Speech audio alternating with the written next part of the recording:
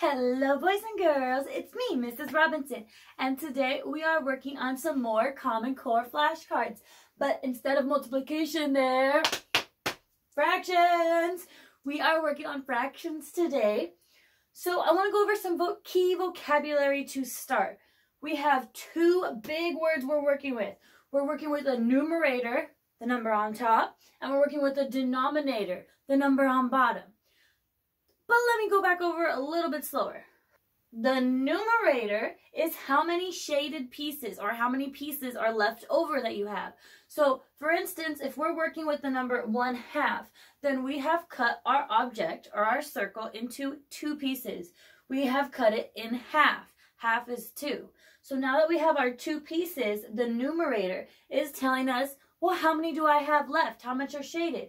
We look to our top number. It says we have one, so we would color in or there would be one side shaded. We have our denominator, which means the number on the bottom. How I always, always, always remember denominator is I think of denominator down, the number that's down, denominator. Just think of D is down, that's the number on the bottom. So our denominator in this case is 2 for half. So it tells us how many total pieces we have.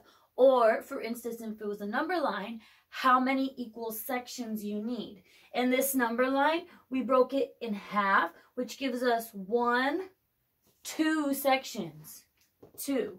Up here in the circle, we have one, two sides. Two. That's what's telling us is our denominator. So we have two strategies, two strategies for our flashcards today we have our represent it and model it. So on the top of your flashcard, I want you to split it in half or your piece of paper, even if you're just practicing, break it in half. And on the top, I want you to represent it. I want you to draw it. I want you to model it. So step one is you use the denominator to tell you how many pieces you draw or how much you break apart a number line into or how much you break apart an object into. It could be a rectangle, it could be a circle, it could be hearts. You can represent it any way you want, but you need to know that you're starting with a total of two pieces. That's what's telling us, our bottom number. Now, the second step in the strategy is you're going to use your numerator to tell you how many shades. So you're going to shade in one side. So we shaded in this one side. Now down here I have a couple examples how you can model it. It doesn't have to just be a circle. Say like I said you wanted to do a rectangle. You would draw that rectangle and depending on your denominator, so in this instance it's 2, we would cut it in half. That's what's telling us. We're drawing a rectangle, you cut it in half. Now say you want to draw objects. They could be smiley faces, flowers, whatever you want. I drew two hearts. How many hearts did I draw? I drew two hearts. And I'm going to shade it in depending on my numerator. Our numerator is 1, so we shaded in one side, shaded in one side, and shaded in one heart. You can model it any way, but the first half of your page, I want you to model it. Now the second half of the page, we are working with another strategy in Common Core called number lines. We are using lots and lots and lots and lots and lots of number lines. So we're going to start by step one, drawing a number line. So you're going to draw a line. You're going to go all the way, kind of like a sideways I. So on the left side of your I, you're going to start with a zero. And on the right side of your I, you're going to end it at a one. Because really what fractions are is you're breaking up one object, one number line into how many pieces. In my example today, we're working with halves. So we're breaking up our number line into two sections. So we're going to go right down the middle and pretend we just have like a scissors or something and just cut it. And just cut it. Draw a line right down the middle.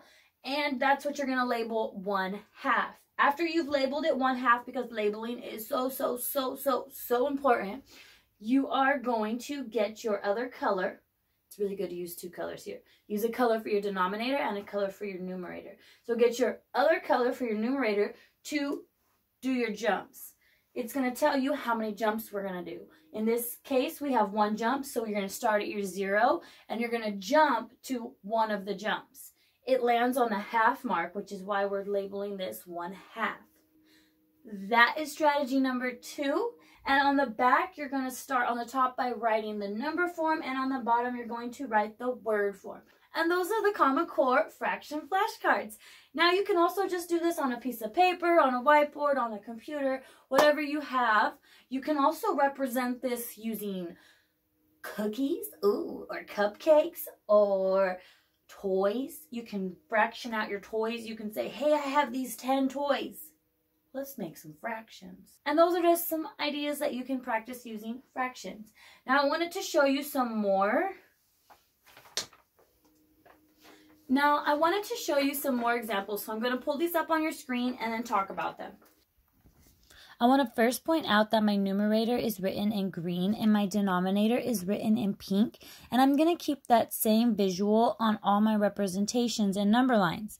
On the left side, we have two halves. So I'm going to either draw a circle, rectangle, or objects into halves, which means two pieces. Now the numerator part, our green part, says that we have two pieces shaded in. When we shade in those two pieces, now that means our whole circle is colored, or our whole rectangle, or both our hearts are colored, which means that we now have one whole. Let's jump down to our number line example. So we drew our sideways I, we started with zero, and we ended with one we cut our number line in half because remember, we're dealing with halves as our denominator said. And we're going to jump how many times? Well, our numerator said two times. So you start at your zero and you're going to jump to your half. And now you're going to jump to your one, which is the same as two out of two pieces, one whole. Does that make sense? Let's look over at the other side on one third to see if we can compare the two sides with our circle, our rectangle, or our hearts, I now have thirds, which means three pieces. So I have to cut them or break them apart into three different pieces. So looking at my circle first, I have cut it into three pieces and my numerator says one. So I'm only going to shade in one piece. Same as with my rectangle as well as with the hearts. I only shaded in or colored in one heart. With my number line, I've drawn my sideways I. I started with zero. I ended with one. I labeled my other pieces because I now broke it apart into three equal chunks.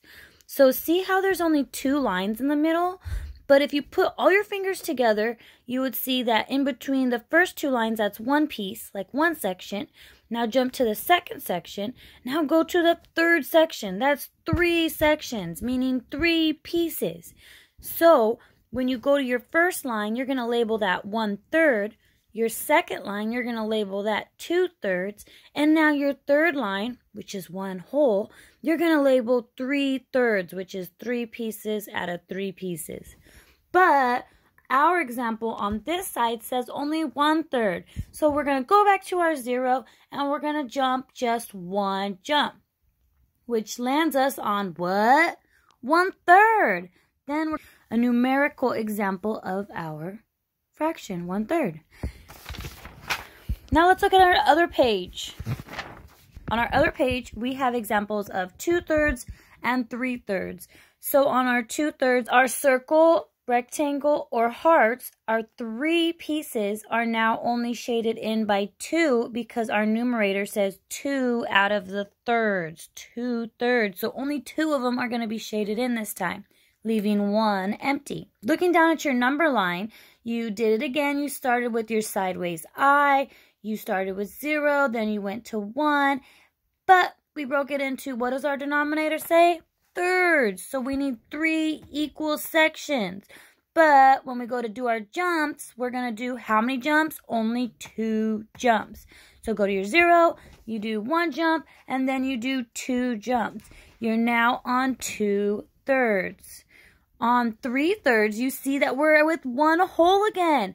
So even if we're now breaking our object into three pieces, we're going to color three of them in. So that technically means we have one whole because our whole circle or our whole rectangle or all three of our hearts are now colored in. Looking down at our number line, we're starting with our sideways I, 0 to 1. You broke it into your three sections. But look at, we had to jump all the way to the 1. Three jumps is 3 out of 3, which is one whole. I also have an example for you to see with 1 fourths, how we broke it up into fourths. Look at the difference now on our number line you see our three lines, but it's four different sections. That's the biggest part with the number line, is you're not looking at how many lines in the middle you're drawing. You're looking at how many sections you've broken it up into. Same with the fifths. Look at the circle. Look at the rectangle. We have five sections now. But look, our numerator says two, so I had to color in two versus the other side that just says one. So that's where you're paying attention to the different fractions. So I hope that was helpful. I hope you can make all your two, I mean all your halves, all your thirds, all your fourths, all your fifths, all your sixths. And if you know that much, then hey, I think you're killing the game and I'm proud of you thus far. So go build some fractions, go practice your fractions, and good luck. See you next time. Bye.